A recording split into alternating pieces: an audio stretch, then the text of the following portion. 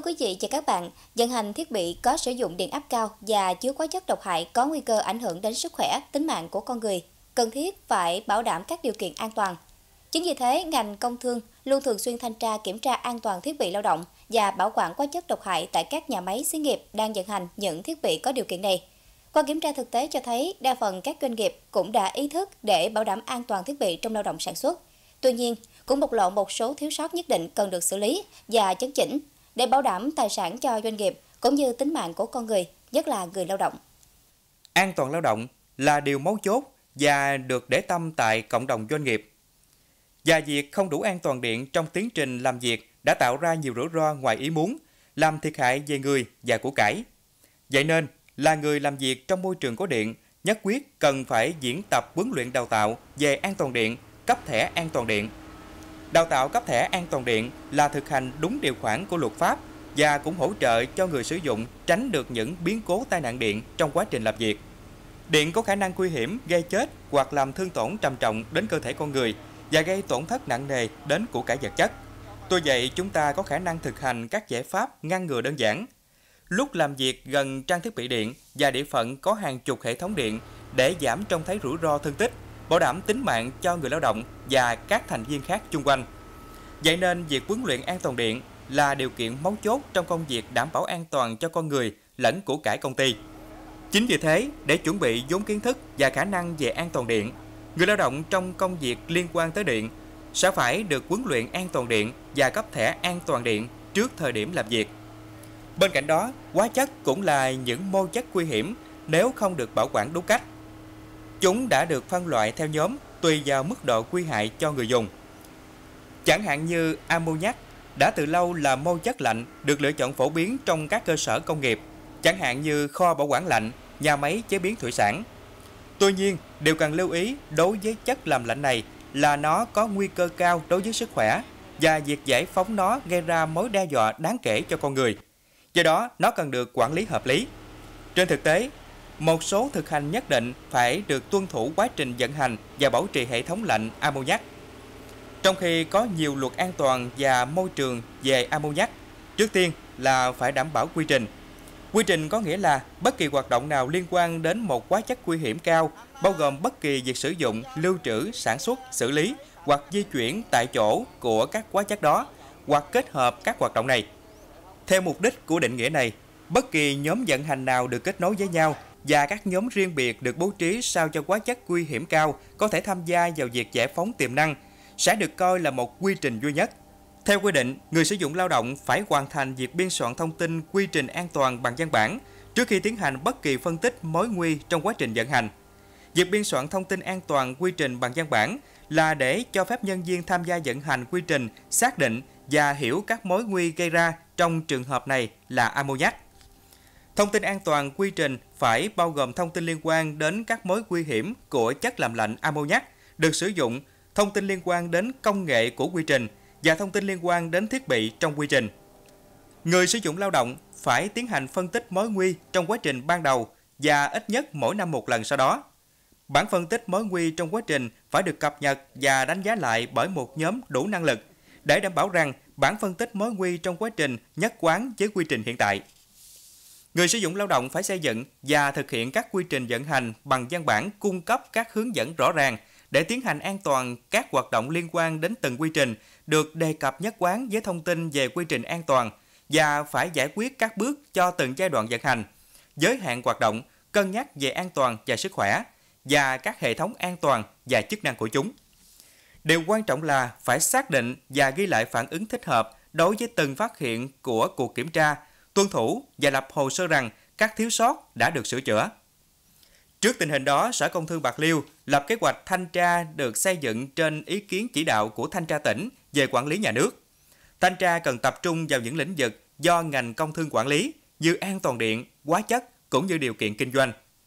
Thời điểm thanh tra là theo đúng danh mục công bố và phối hợp các bên liên quan. Lịch sẽ triển khai theo kế hoạch thanh tra đặt ra nhưng cũng có thể thay đổi căn cứ trên tình hình thực tế. Trong từng trường hợp có thể có điều chỉnh và có thông báo thay đổi kế hoạch thanh tra về thời gian. Qua tìm hiểu thực tế, các công ty chế biến thủy hải sản xuất khẩu đều sử dụng máy móc có điện áp cao và hóa chất độc hại. sự an toàn của máy móc đa phần được các chủ doanh nghiệp quan tâm. Tuy nhiên, đối với công nhân vận hành, hầu như chưa được qua các khóa huấn luyện cơ bản về chuyên môn, mà chỉ làm bằng thói quen và kinh nghiệm. Nhiều đơn vị cho rằng vấn đề này không cần thiết, nhưng thực chất đây là vấn đề vi phạm nghiêm trọng trong việc bảo đảm thủ tục kinh doanh.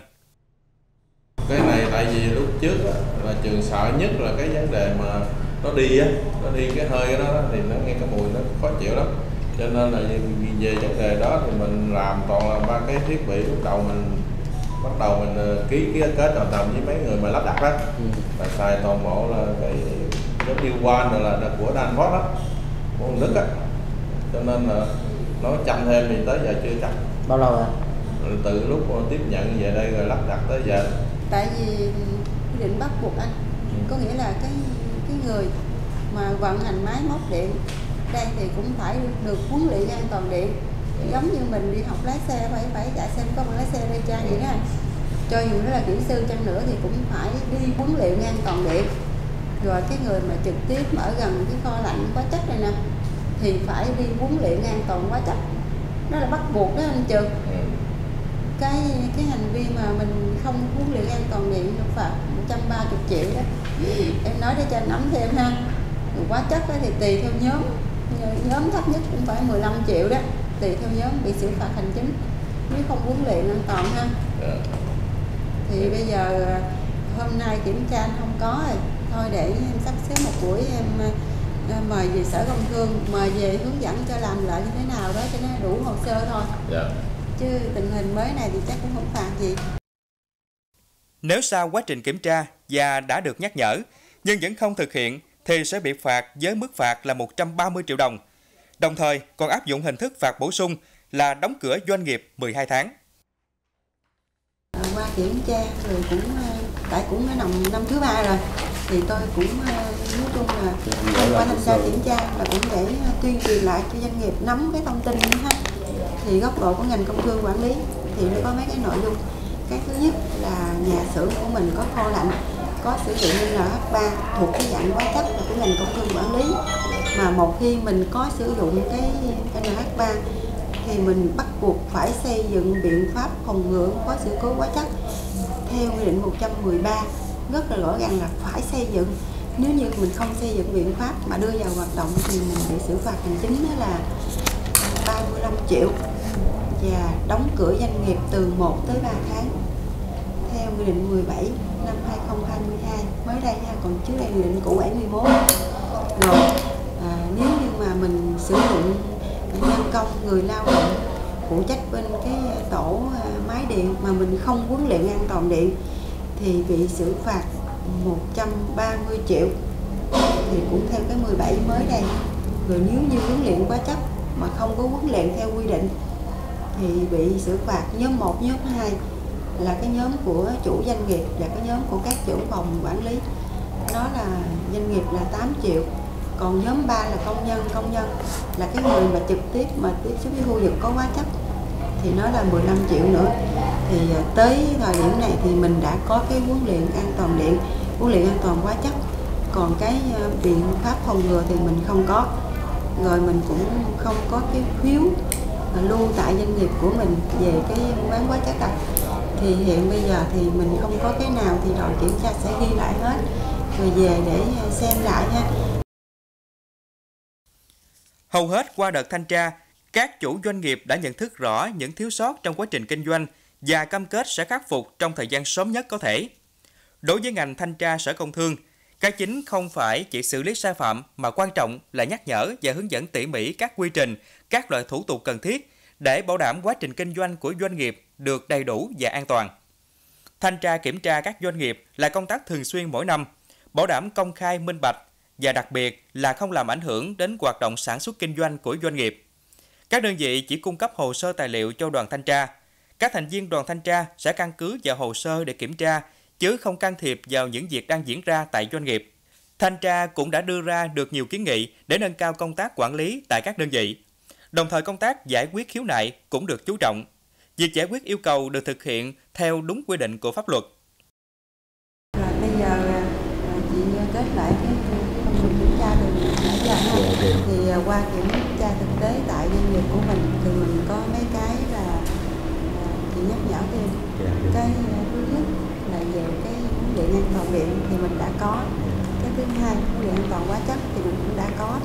Mà hai cái này thì thời hạn nó cũng không phải là lâu cho Dạ. nên là em chú ý để cho kịp thời hạn khi hết thì mình phải bổ sung Dạ. chứ nếu không thực hiện thì phạt hành chính rất là cao Dạ, dạ. an toàn điện là 130 còn hóa chất là hai nhóm là 23 triệu À, nếu như không có thì nó sẽ mệt đó dạ. rồi cái hiện bây giờ mình chưa có là cái biện pháp phòng ngừa ứng phó sự cố hóa chất Dạ. là em chưa có xây dựng cái này mà cái này nếu không có thì vi phạm hành chính là bị xử phạt 35 triệu doanh nghiệp Dạ. mà thêm một cái nữa quan trọng là hình phạt chính là phạt tiền.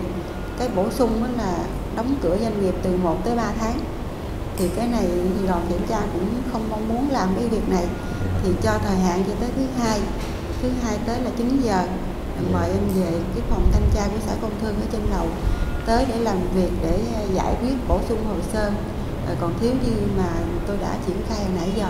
Dạ, dạ. thì qua kiểm tra thì em có ý kiến gì không thì quan cha thì em ý kiến chọn cái biện pháp an toàn hóa chất á, tại hồi xưa giờ em cũng làm minh cái sơ chế là em cũng chưa có xây dựng cái đó thật sự.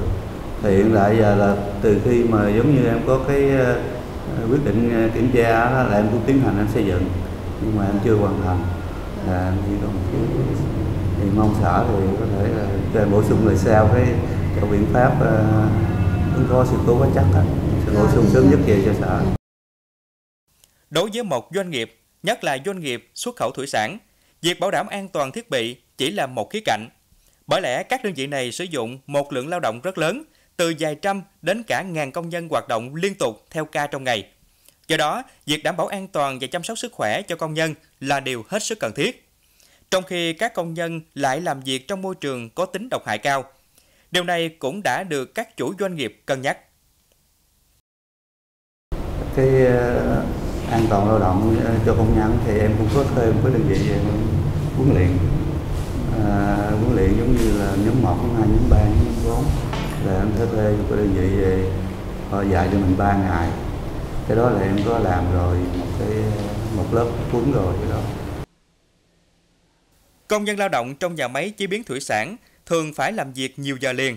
Quá trình sản xuất, họ thường xuyên phải tiếp xúc với các yếu tố độc hại như nước có hàm lượng muối và hóa chất ăn mòn cao, gây ảnh hưởng đến sức khỏe.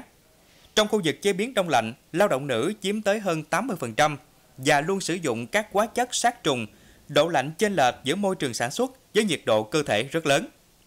Theo kết quả khảo sát mới đây của Trung tâm Nghiên cứu Môi trường về điều kiện lao động tại các doanh nghiệp chế biến thủy sản đông lạnh xuất khẩu, được biết, độ ẩm vượt tiêu chuẩn vệ sinh cho phép tại khu sản xuất là gần 80%. Độ ẩm không khí cao, tuy không những ảnh hưởng trực tiếp đến sức khỏe, mà về lâu dài, đây là nguyên nhân gây ra các bệnh tai, mũi họng, hô hấp, da liễu cho người lao động. Bên cạnh đó, giờ làm việc của người lao động không ổn định, lúc không có việc, lúc lại tăng ca đến nửa đêm. Để sử dụng tối đa công suất máy móc, thiết bị, có thời điểm doanh nghiệp phải bố trí công nhân làm việc cả 3 ca. Thời gian lao động kéo dài, chế độ dinh dưỡng không đủ đã làm cho người lao động bị thay đổi nhịp sinh học, dẫn đến sức khỏe suy giảm. Để khắc phục tình trạng trên, các doanh nghiệp ngành thủy sản cần tăng độ thông thoáng cho những khu vực làm việc của công nhân lao động, như lắp thêm quạt thông gió, hút hơi khí độc.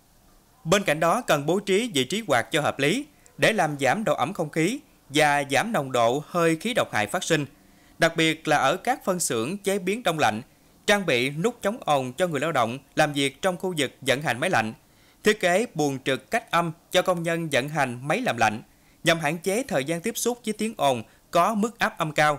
Đồng thời yêu cầu người lao động thường xuyên mang đầy đủ bảo hộ lao động cá nhân khi làm việc.